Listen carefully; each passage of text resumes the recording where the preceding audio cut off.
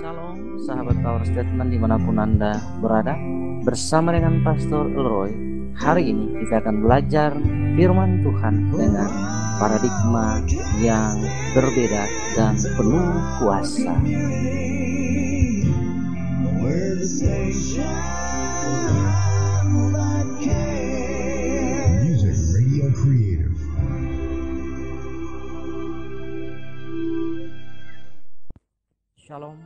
sahabat yang diberkati pendengar Power Statement di siang hari ini.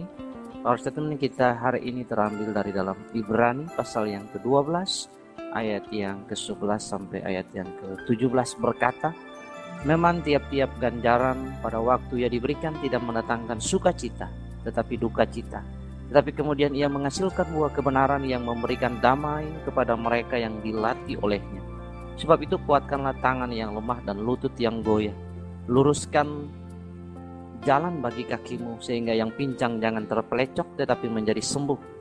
Berusahalah hidup damai dengan semua orang dan kejarlah kekudusan. Sebab tanpa kekudusan tidak seorang pun akan melihat Tuhan. Jagalah supaya jangan ada seorang pun yang menjauhkan diri dari kasih karunia Allah agar jangan tumbuh akar yang pahit yang menimbulkan kerusuhan dan yang mencemarkan banyak orang. Janganlah ada orang yang menjadi cabul atau yang mempunyai nafsu yang rendah seperti Esau, yang menjual hak kesulungannya untuk sepiring makanan. Sebab kamu tahu bahwa kemudian ia hendak menerima berkat itu ia ditolak, sebab ia tidak beroleh kesempatan untuk memperbaiki kesalahannya.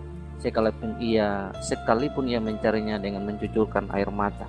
Sahabat yang diberkati oleh Tuhan Yesus dari parafrase kitab Ibrani ini Tuhan mengajarkan kita supaya kita menjadi semakin baik dan bahkan menjadi sama seperti dia karena itu adalah kerinduannya Bapa bagi kita di dalam Kristus Yesus. Jadi jangan pernah kita menjadi patah semangat. Pengharapan kita itu nyata di dalam dia. Dalam menghadapi kehidupan kita harus selalu bersemangat Inilah modal awal kita untuk meraih berkat Tuhan. Alkitab memberikan peringatan serius akan bahaya bagi mereka yang mempunyai nafsu rendah seperti Esau. Kita tahu bahwa dia sebagai putra sulung yang seharusnya memperoleh berkat kesulungan dari Yakub. Namun dia menjual hak kesulungan itu kepada adiknya Yakub. Di dunia ini memang dipengaruhi oleh dua krisis yang terjadi antara Yakub dan Esau. Yakub berbicara tentang the chosen people atau orang-orang yang terpilih, yaitu Israel, dan Esau berbicara tentang bangsa-bangsa di sekitar Israel. Esau mempunyai pengertian artinya orang yang ditolak. Posisinya adalah sebagai orang persona non grata. Persona itu artinya pribadi, Gerata itu artinya gerasi. Itulah orang yang tidak mendapat gerasi alias tidak hidup di dalam kasih karunia atau anugerah. Sejarahnya diawali ketika mereka ada di dalam kandungan. Tuhan sudah berkata bahwa akan ada permusuhan di antara keduanya. Allah membenci Esau dan mengasihi Yakub. Dia adalah Tuhan yang berdaulat. Dan dia telah menyatakan dan akan terjadi kebenaran yang tak terbantahkan. Ada empat poin penting buat kita semua dalam menjalani kehidupan di muka bumi ini supaya kita benar-benar meraih berkat yang Tuhan sediakan bagi kita. Yang pertama adalah semangat. Dengar baik sahabat yang diberkati oleh Tuhan. Orang yang senantiasa bersemangat itu adalah orang yang siap meraih berkat Tuhan. Apa saja yang dilakukannya pasti berhasil sebab dia melakukannya dengan sungguh-sungguh bahkan untuk Tuhan. Ini adalah passion karena itu meskipun usia saya semakin bertambah, namun semangat saya semakin kuat dalam dia. Ucapkanlah kata-kata selalu kata-kata semangat pagi yang harus kita ucapkan di pagi, siang, dan bahkan malam hari. Kata-kata ini akan memacu kita untuk hidup dalam semangat. Yang kedua adalah peace perdamaian. Firman Tuhan berkata agar kita mengusahakan perdamaian dengan semua orang. Namun kenyataannya dalam hubungan antara Yakub dan Esau kisah ini dipenuhi dengan permusuhan dan pertikaian sepanjang sejarah hingga hari ini. Pertikaian itu tidak pernah berhenti, bahkan waktu itu Esau bersumpah bahwa dia akan membunuh Yakub. Kata-kata itu bukan sekedar diucapkan di masa lampau, namun juga diucapkan sampai sekarang oleh anak cucu Esau. Hal ini menunjukkan fakta bahwa sampai kapan pun kita akan tetap dibenci oleh Saul dan keturunannya. Bahkan Yesus pun berkata, ingatlah apa yang telah kukatakan kepadamu. Seorang hamba tidaklah lebih tinggi daripada tuannya. Kalau mereka telah meng menganiaya aku, mereka juga akan menganiaya kamu. Kalau mereka telah menuruti firmanku, mereka juga akan menuruti perkataanmu. Yohanes 15 ayat yang ke-20. Kita akan dibenci tanpa alasan, namun kalau dicari-cari alasannya, maka itu pastilah karena diberkati oleh Abraham, Ishak dan Yakub, Allah yang kita sembah.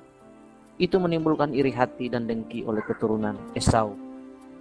Salah satu modal kita dalam menjalani hidup ini adalah berdamai dengan semua orang. Ini juga berbicara mengenai perdamaian dengan keluarga kita sendiri. Jika masih ada perseteruan dengan orang tua, saudara, mertua, atau orang-orang yang ada di rumah kita, ayo kita bereskan. Bukankah kita adalah orang-orang yang membawa damai? Yesus identik dengan Raja Damai. Jadi kita juga harus menjadi pembawa damai. Mengapa orang lebih memilih untuk masuk dalam peperangan atau pertikaian? Tidak sadarkah bahwa orang-orang yang berperang itu mahal? Lihat saja negara-negara adidaya seperti Amerika Serikat yang harus menanggung banyak hutang. Karena hutang itu sebagian besar untuk menjaga stabilitas keamanan dunia. Yang notabene artinya masuk dalam kancah peperangan. Jadi jangan pernah berhenti untuk menjadi pembawa damai. Sebab sesungguhnya Tuhan telah memberikan damai sejahtera yang melimpah dalam hidup kita. Yang ketiga adalah holiness, kekudusan. Kekudusan inilah yang membuat kita berbeda dengan dunia ini. Kita percaya bahwa Tuhan telah menyucikan hidup kita, namun kita harus berjalan di dalam kekudusannya setiap hari. Jangan mempunyai nafsu rendah seperti Esau. Kakak Yakub ini memang merupakan simbol dari manusia yang hidup dalam hawa nafsunya mereka lebih memilih menuruti hawa nafsu daripada memilih hidup dalam kekudusan. Akhirnya yang didapat hanyalah penyesalan dan hilangnya berkat yang harus diterimanya. Yang keempat adalah grace, kasih karunia. Inilah yang memampukan kita melakukan firman Tuhan. Periksalah hidup kita, bagaimana kehidupan kita bersandarkah kepada kasih karunia Tuhan. Orang-orang yang tidak mau mengandalkan kasih karunia itu adalah orang-orang yang sombong. Mereka merasa bahwa dirinya mampu berjalan sendiri dan pasti gagal. Dan Allah tidak senang dengan segala kemegahan manusia. Dia senang dengan orang-orang yang hidup di dalam kasih karunia-Nya.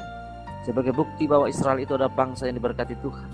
Baru-baru ini di Israel ditemukan kandungan minyak sejumlah 250 miliar miliar barel di lomba Ela Israel tempat pertempuran Daud dan Goliat. Israel yang selama ini mengandalkan impor minyak dari negara lain sebentar lagi akan mampu memenuhi minyak di dalam negeri sendiri. Bukankah ini adalah berkat? Berkat Israel juga berbicara mengenai berkat anak-anak Tuhan. Kita adalah bangsa Israel secara rohani. Orang lain bisa saja mengolok kalau Anda susah diberkati. Tetapi kalau Tuhan telah membukakan pintu buat kita, siapa yang bisa menahannya? Rekan-rekan yang diberkati oleh Tuhan, mari tunduk kepala dan kita berdoa. Bapa, hamba berdoa dengan doa-doa yang sederhana. Ini Tuhan Engkau memberkati sahabat-sahabat yang mendengarkan power statement ini ajar mereka untuk hidup di dalam kekudusan, untuk hidup di dalam damai sejahtera dan untuk hidup dalam kasih karunia.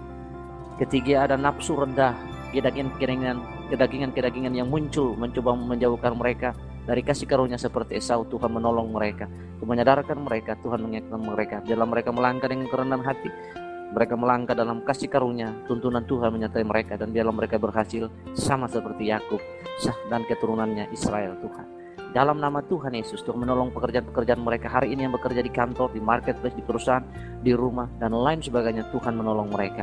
Di dalam nama Tuhan Yesus, Tuhan memberkati segala yang dikerjakan berhasil karena nama Tuhan. Hamba berdoa dan bersyukur dan memberkati sahabat-sahabat yang mendengarkan program Power Statement hari ini. Di dalam nama Tuhan Yesus. Haleluya. Amen.